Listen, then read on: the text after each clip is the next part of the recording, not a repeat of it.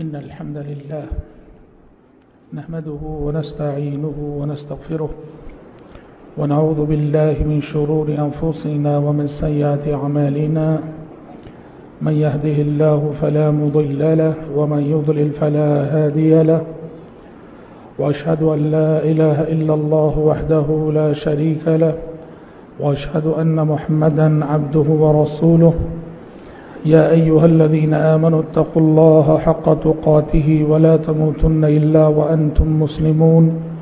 يا أيها الناس اتقوا ربكم الذي خلقكم من نفس واحدة وخلق منها زوجها وبث منهما رجالا كثيرا ونساء. واتقوا الله الذي تساءلون به والأرحام إن الله كان عليكم رقيبا. يا أيها الذين آمنوا اتقوا الله وقولوا قولا سديدا. يصلح لكم أعمالكم ويغفر لكم ذنوبكم. ومن يطع الله ورسوله فقد فاز فوزا عظيما.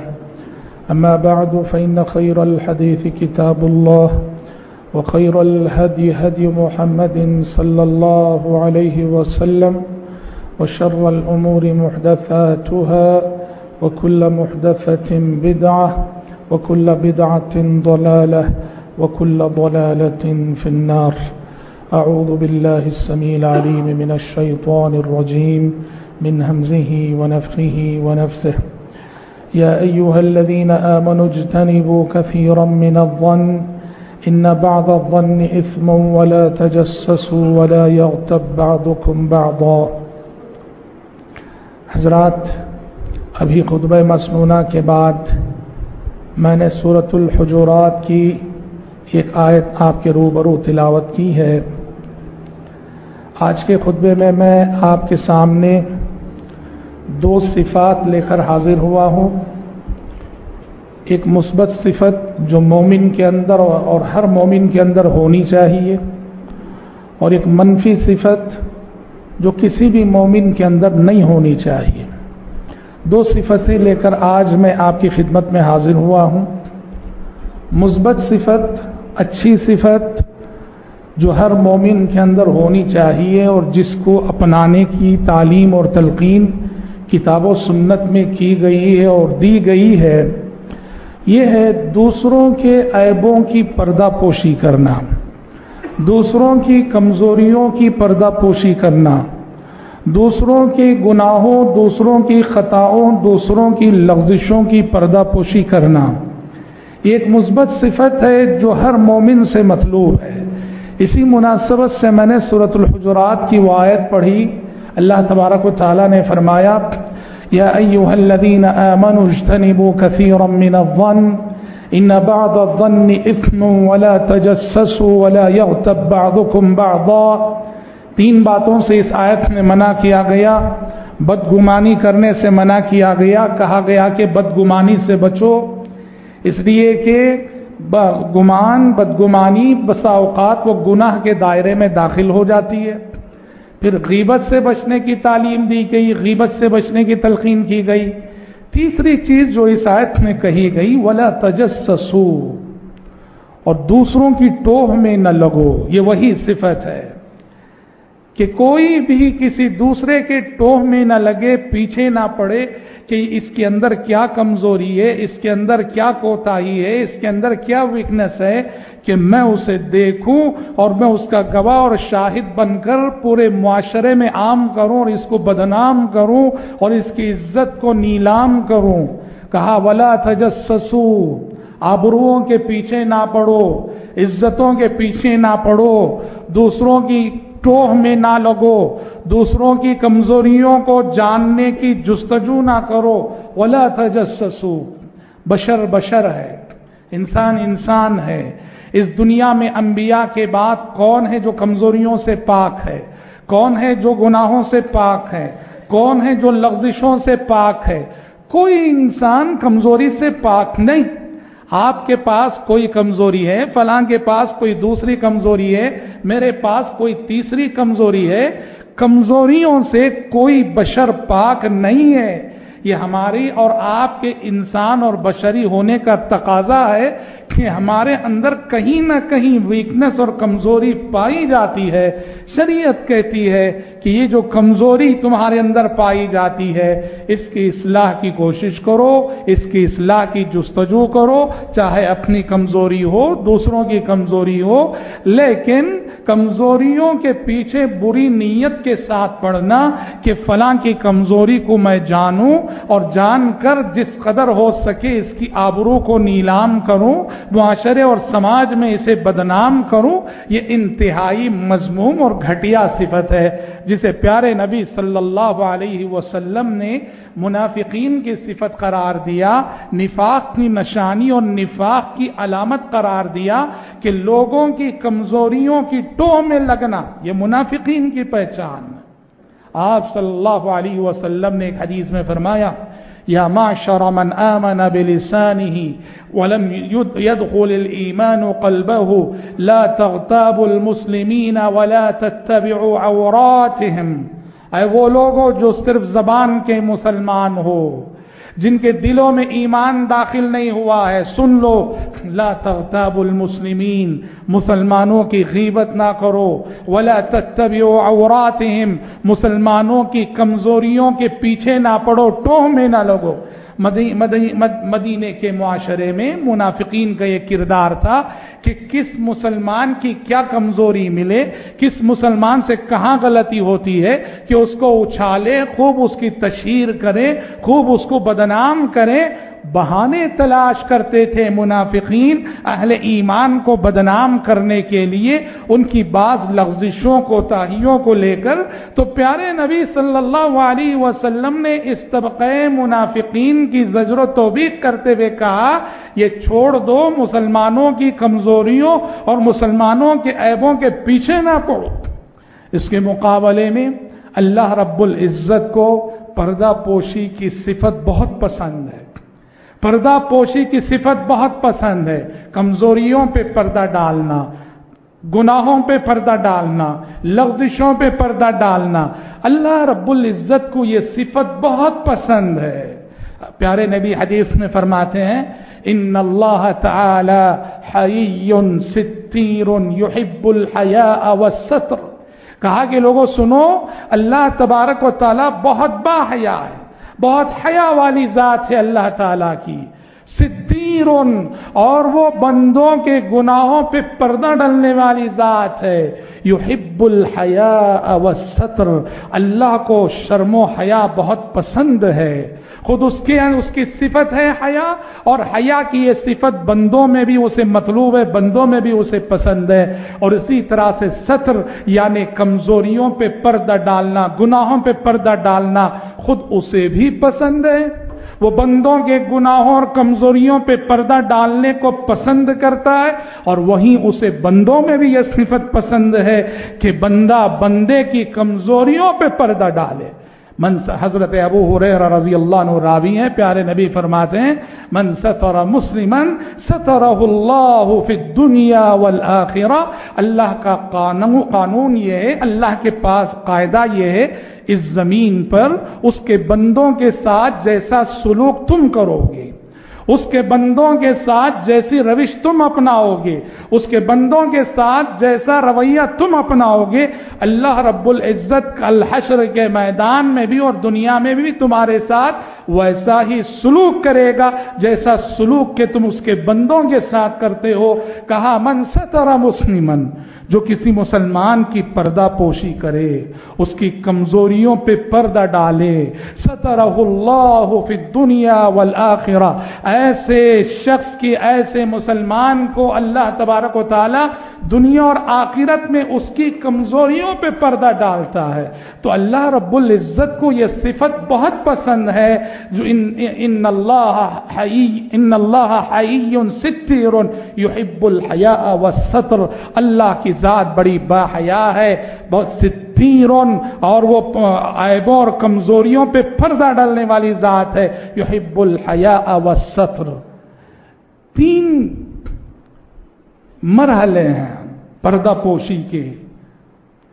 ان تینوں مرحلوں میں، یا ان تینوں طبقات کے ساتھ یہ پردہ پوشی کا معاملہ کرنا ہے۔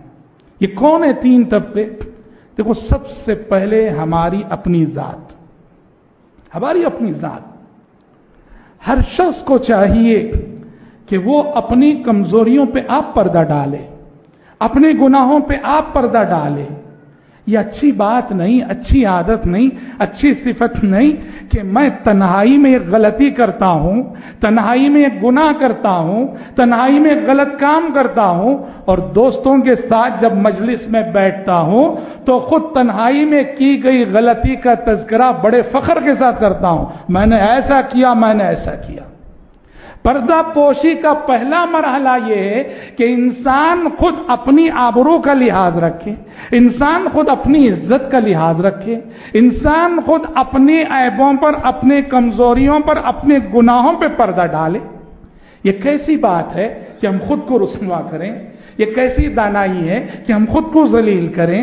یہ کیسی عقل مندی ہے کہ تنہائیوں میں کوئی غلطی ہو اور ہم خود مجمع عام میں اپنی غلطی کا تذکرہ دوستوں کے سامنے، حیا کے ساتھ بھی نہیں اور بڑے فخر کے ساتھ کریں؟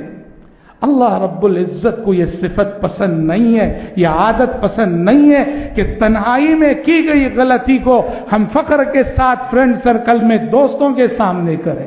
پیارے نبی فرماتے ہیں حدیث میں کل امتی معافا کل امتی معافا إلا المجاہرین کہا میری ساری کی ساری امت کو اللہ آفیت میں رکھے گا آفیت نصیب کرے گا عذاب سے بچائے گا سزا سے بچائے گا الا المجاہرین. الا المجاہرین سوائے ان لوگوں کے جو علل اعلان لوگوں کی نظروں کے سامنے، لوگوں کی آنکھوں کے سامنے، بغیر حیا کے، بغیر شرم کے، بغیر جھجک کے گناہ کرتے ہیں۔ الا المجاہرین مجھے اپنی آبرو کا کوئی خیال نہیں، مجھے اپنی عزت کا کوئی لحاظ نہیں۔ غلطی کر رہا ہوں، غلط کام کر رہا ہوں، لوگوں کی نظروں کے سامنے فخر سے کیے جا رہا ہوں۔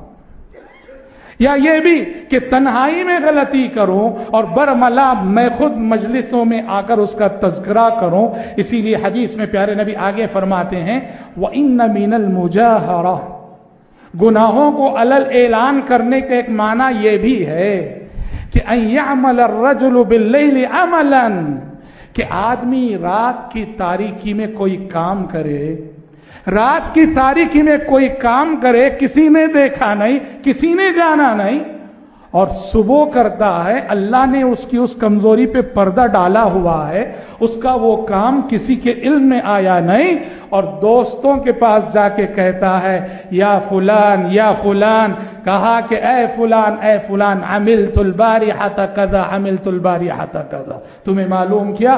کل رات میں نے ایسا کیا، کل رات میں نے ایسا کیا، کل رات میں نے ویسا کیا۔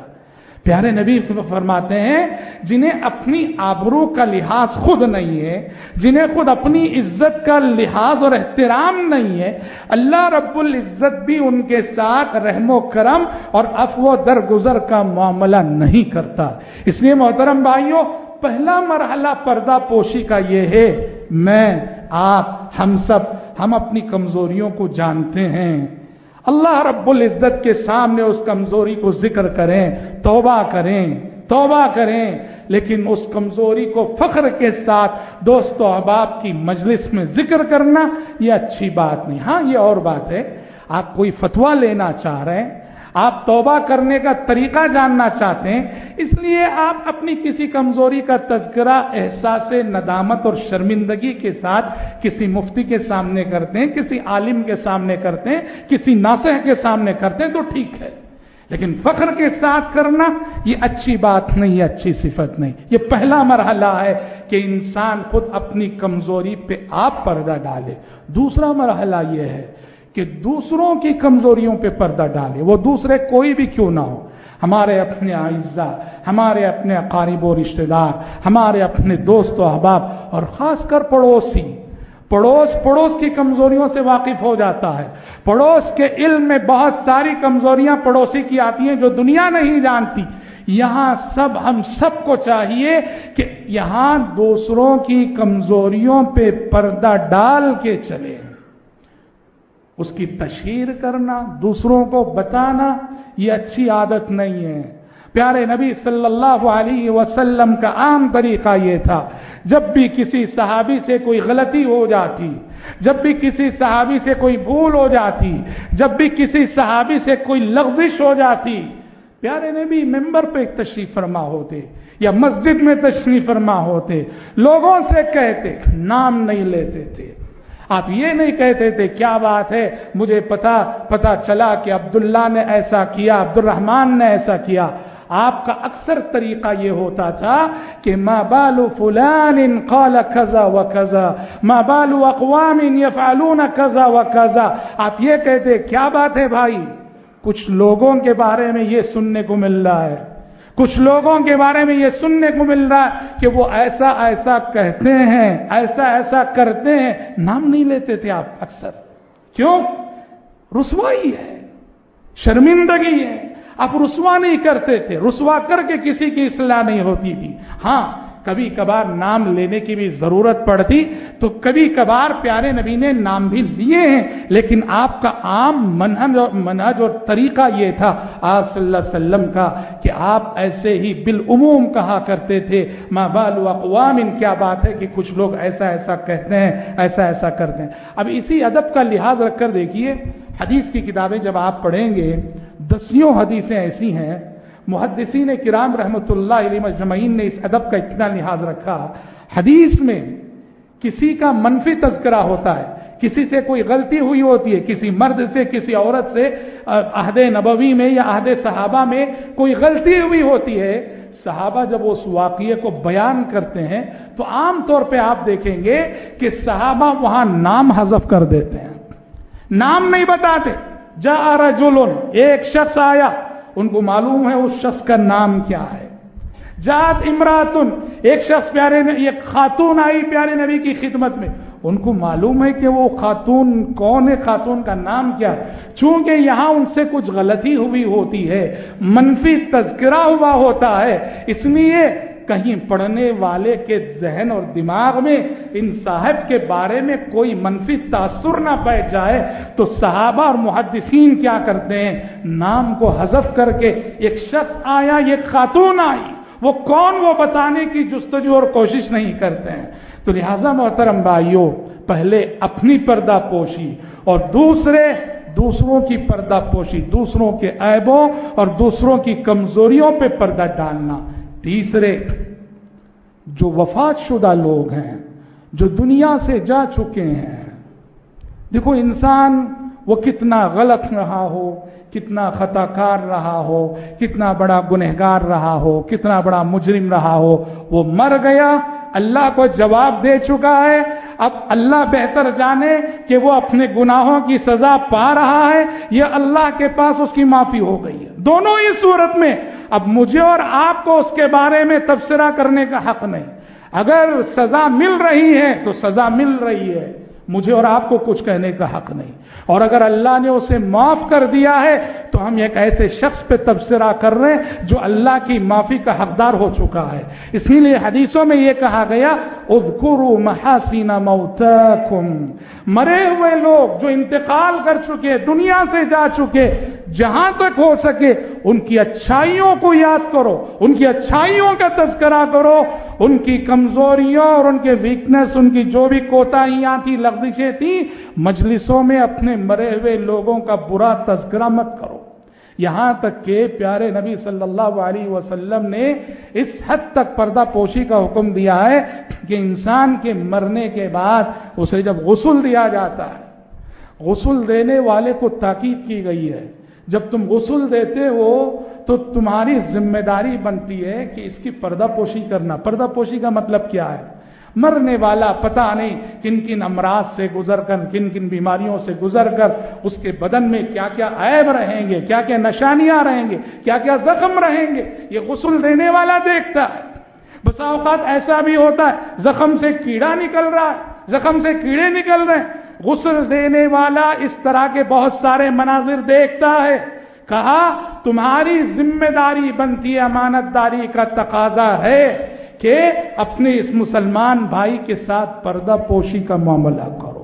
باہر جا کے مت بولو کہ اس کی پیٹ میں فلاں اتنا بڑا زخم تھا، اس کے پیٹ میں فلاں زخم تھا، اس کے زخم سے کیڑا نکل رہا تھا، اس کے داہنے ہاتھ میں سفیدی تھی، اس کے بائیں ہاتھ میں یہ تھا۔ کہا کہ ایسا نہ کرو۔ آپ صلی اللہ علیہ وسلم فرماتے ہیں، بے حقیقی روایت ہے۔ امام البانی نے، امام البانی نے اس کو حسن قرار دیا۔ کہا کہ من غسل میتا فکتم علی غفر اللہ له اربعین مرتا۔ جو شخص کسی میت کو غسل دے اور غسل دے کر اس کے ساتھ پردہ پوشی کا معاملہ کرے۔ جو بھی ہوتا ہے وہ کسی کو نہ بتائے۔ ایسے غسل دینے والے شخص کو اللہ چالیس مرتبے معاف کرے گا۔ چالیس مرتبے اللہ اس بندے کے حق میں بخشش لکھے گا۔ تو لہذا تیسرا مرحلہ ہے پردہ پوشی کا، جو مرے ہوئے لوگ ہیں ان کی پردہ پوشی کرنا۔ اور یاد رکھو یاد رکھو، جیسے شروع میں میں نے کہا کہ اس معاملے میں؟ اللہ کے بندوں کے ساتھ جیسا سلوک ہم کریں گے، اللہ کی جانب سے ویسا سلوک ہمارے ساتھ ہوگا۔ آج اگر میں آپ کی کمزوریوں کے پیچھے پڑ کر اس کی تشہیر کرتا ہوں، آپ کی آبروں کو نیلام کرتا ہوں، آپ کی عزت کے ساتھ کھلواڑ کرتا ہوں، کل مجھے تیار رہنا چاہیے، یہی آفت، یہی بدنامی میری بھی منتظر رہے گی۔ کیونکہ اللہ کا قانون ہے، من تتبع عورت اخیه المسلم، تتبع اللہ عورته ومن تتبع اللہ عورته يفضح ولو في جوف رحله کہا کہ جو اپنے مسلمان بھائی کے عیبوں کی ٹوہ میں لگے، اس کے پیچھے پڑے اللہ ایسے شخص کے عیبوں کی ٹوہ میں لگے گا اور اللہ جس کے عیبوں کی ٹوہ میں لگ جائے، اسے ایک نہ ایک دن دنیا میں ذلیل کر کے رہے گا اور ذلت اس تک پہنچ کر رہے گی۔ بھلے سے وہ اپنے گھر کے کونے میں جا کے چھپ کے کیوں نہ بیٹھا ہو؟ رسوائی وہاں تک پہنچ کر رہے گی۔ یہ اللہ کا قانون ہے جو اس کے بندوں کی آبرو کو نیلام کرے، اس کی بندوں کی عزت کے ساتھ کھلواڑ کرے۔ اللہ رب العالمین بھی اس کے لیے ایسی ہی بدنامی کا سامان کرتا۔ اور اس کے مقابلے میں جو دوسروں کی آبرو کا لحاظ رکھتے ہیں، دوسروں کی آبرو کی حفاظت کرتے ہیں، دوسروں کی آبرو سے کھلواڑ نہیں کرتے، پردہ پوشی سے کام لیتے تھے۔ ان کے ساتھ کیا معاملہ ہوگا؟ ابن عمر رضی اللہ عنہ راوی ہے صحیح مسلم کی حدیث ہے کہ کل حشر کے میدان میں اللہ تبارک و تعالی ایک مومن سے قریب ہوگا، ایک مومن کو اپنے سے قریب کرے گا۔ قریب کرنے کے بعد اللہ تبارک و تعالی اس مومن سے سرگوشی کرے گا۔ سرگوشی کرے گا، آہستہ سے کہے گا، اتعرف ذنب کذا، اتعرف ذنب کذا؟ اے میرے بندے دیکھ، یہ فلاں گناہ تو نے کیا تھا کہ نہیں دنیا میں؟ فلاں گناہ تو نے کیا تھا کہ نہیں دنیا میں؟ اس کے وہ گناہ جو اس نے دنیا میں کیے تھے، ایک ایک گناہ کو اللہ گنائے گا، بندہ کہے گا، ای ربی نام کہا کہ پروردگارہ، سچ ہے، یہ گناہ میں نے کیے ہیں۔ اب وہ سمجھے گا کہ اب محاسبہ ہو رہا ہے، حساب ہو رہا ہے، کتاب ہو رہا ہے، اور ابھی میری گرفت ہوگی، پکڑ ہوگی، ابھی میری سزا ہونے والی ہے۔ اللہ کہے گا کہ بندے دیکھ، قد ستر علی کفی دنیا تو نے یہ سارے گناہ دنیا میں کیے۔ میں نے تیرے ان گناہوں پہ پردہ ڈالا کہ کسی کے علم میں تیرا یہ گناہ دنیا میں نہیں آئے جا، میں نے دنیا میں پردہ ڈال کے تجھے رسوا نہیں کیا۔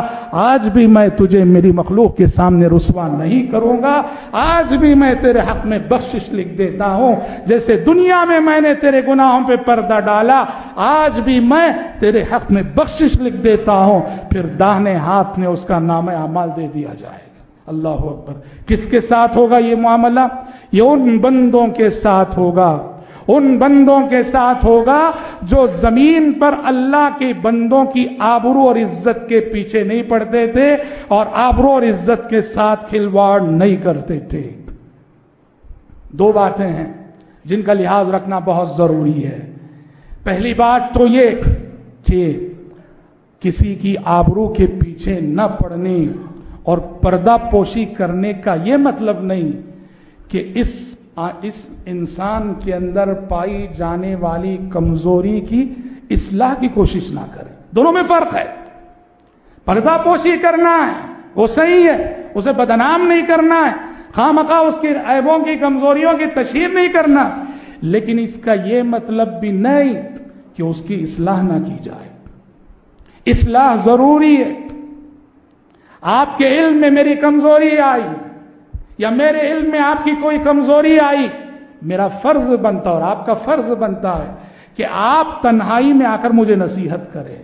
میرا فرض بنتا ہے کہ میں تنہائی میں بلا کر آپ کو سمجھاؤں اور نصیحت کروں۔ اور اگر آپ میرے سمجھانے سے نہیں مان رہے یا آپ کے سمجھانے سے میں نہیں مان رہا ہوں، دیکھو کہ کون ہے اس کے والد، اس کے چچا، اس کے تایا، اس کے بڑے بھائی یا فلاں عالم۔ جس کے کہنے سے یہ شخص سنبھل سکتا ہے، سدھر سکتا ہے۔ تو لہذا فرق کرنا، اصلاح کی کوشش بہت ضروری ہے۔ پردہ پوشی کا یہ مطلب ہرگز نہیں کہ غلطی کو برداشت کیا جائے، منکر کو برداشت کیا جائے اور برداشت کر کے ایسے ہی گزارا جائے۔ نہیں نہیں، اصلاح ضرور کرنی ہے۔ اصلاح کی جتنی کوشش ہو سکتی ہے، ہمارے بس میں جتنا ہو سکتا ہے۔ ہماری استطاعت میں جتنا ہے، اتنا تو ہمیں کرنا ہی ہے۔ یہ اگر نہیں کریں گے، اللہ کے پاس ہم جواب دہ ہو سکتے ہیں۔ وأنفسكم وأهليكم نارا كنتم خير أمة أخرجت للناس تأمرون بالمعروف وتنهون عن المنكر ولتكن منكم أمة يدعون إلى الخير ويأمرون بالمعروف وينهون عن المنكر۔ یہ تو اس امت کے ایک ایک فرد کی ذمہ داری ہے۔ دوسروں کو خیر کی طرف بلانا، امر بالمعروف کرنا نہیں انل منکر کرنا، دوسروں کو بھلائیوں کا حکم دینا، دوسروں کو برائیوں سے روکنا، یہ ہماری ذمہ داری ہے۔ تو لہذا پردہ پوشی ضروری ہے۔ پردہ پوشی کے ساتھ ساتھ یہ بھی ضروری ہے کہ ہم اصلاح کی کوشش کریں۔ اب یہاں ہوتا یہی ہمارے معاشرے میں، یا تو ہم پردہ پوشی کے نام پہ اصلاح سے بھی گریز کر جاتے ہیں، اصلاح کی کوشش ہم نہیں کرتے ہیں۔ یا پھر ہم اس شخص کی آبروں کو نیلام کرنے کے پیچھے لگ جاتے ہیں اور کبھی اسے سمجھانے کی کوشش نہیں کرتے۔ ذرا سی نصیحت، آپ کی چھوٹی سی نصیحت یا آپ کی چھوٹا سا مشورہ کتنے لوگوں کی زندگیوں کو سنبھال سکتا ہے، کتنے لوگوں کی زندگیوں کو سنوار سکتا ہے۔ اس لیے محترم بھائیوں پردہ پوشی کے ساتھ ساتھ ہمیں اصلاحی فکر لے کے جینا ہے۔ اصلاحی ذہن لے کے جینا ہے کہ ہم سامنے والا بگڑا ہوا شخص جس کی کوئی کمزوری، جس کا کوئی گناہ ہمارے علم میں آیا ہے، اس کی اصلاح کیسے ہو سکتی ہے؟ اس کی جستجو کرنا، یہ ہم سب کے لیے اور آپ سب کے لیے ازحد ضروری ہے۔ پیارے نبی صلی اللہ علیہ وسلم کی زندگی میں یہ دونوں چیزیں ہمیں نظر آتی ہیں۔ آپ کبھی کسی غلط کام کو برداشت نہیں کرتے تھے۔ آپ کسی منکر کو برداشت نہیں کرتے تھے۔ فوراً اصلاح کرتے تھے۔ لیکن یوں اصلاح کرتے تھے۔ کہ کسی کی رسوائی نہ ہو، سامنے والا شرمندہ نہ ہو، سامنے والا ذلیل نہ ہو، بلکہ آپ کا طریقہ اصلاح اتنا اچھا ہوتا تھا، اتنا اچھا ہوتا تھا کہ صحابی کہتے تھے، واللہ ما رأیت معلما خیرا افضل من، فواللہ ما زجرنی ولا ضربنی ولا کہرنی.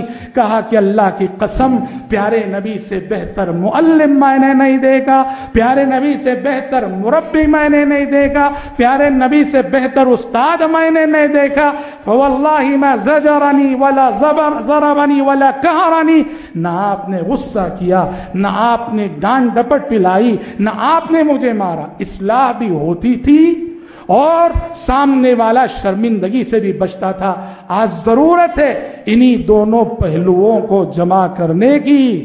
جب بھی کسی کی کمزوری یا کوئی منفی عادت، منفی صفت ہمارے علم میں آئے، اس پہ پردہ ڈالنا اور پردہ ڈال کر جہاں تک ہو سکے، جہاں تک ہمارا بس چلے، اس کی اصلاح کی فکر اور جستجو کرنا۔ یہ پہلی بات ہے۔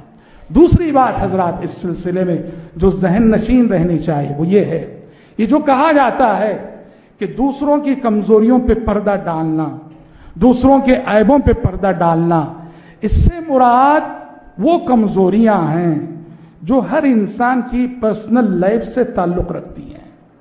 ہر انسان کی ذاتی زندگی سے تعلق رکھتی ہیں۔ میری کمزوریاں جو میری پرسنل لائف سے تعلق رکھتی ہیں۔ آپ کی کمزوریاں جو آپ کی پرسنل لائف سے تعلق رکھتی ہیں۔ یہ کمزوریاں ہیں جہاں پردہ ڈالنا ہے۔ معاشرے کا ایسا شخص جو فتین ہے، جو فسادی ذہن رکھتا ہے، جس کی جانب سے دوسروں کی جان و مال کو خطرہ ہے۔ ایسے لوگوں پہ کبھی پردہ نہیں ڈالا جاتا۔ ایسے لوگوں کی کبھی پردہ پوشی نہیں، جس کی جانب سے دوسروں کی عزت آبرو پہ خطرہ ہے۔ ڈرگس کا معاملہ ہے مثلا۔ ایک شخص ہے۔ معاشرے میں اس کی وجہ سے ڈرگس کا کی برائی پھیل رہی ہے۔ ڈرگس کا تعامل عام ہو رہا ہے۔ وہ ڈرگس لاتا ہے، بیچ رہا ہے۔ نوجوان نسل بگڑ رہی ہے۔ گلی کے بچے بگڑ رہے ہیں۔ اب ہم کہیں کہ پردہ ڈالو۔ یہ پردہ ڈالنے کا تصور یہاں غلط ہے۔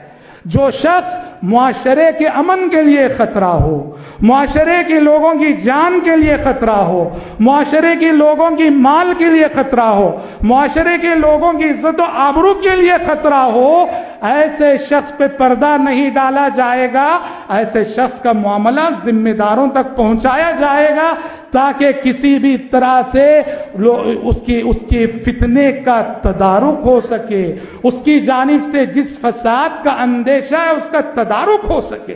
تو دونوں چیزوں میں فرق کرنا ہے کہ پردہ پوشی کی جو بات ہے، کمزوریوں پہ پردہ ڈالنے کی بات ہے۔